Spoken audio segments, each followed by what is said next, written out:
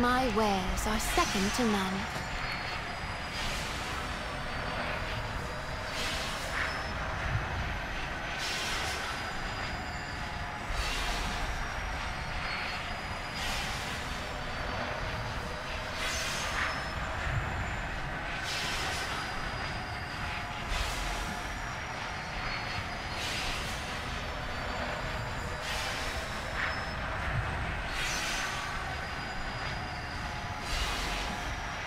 Come visit me again.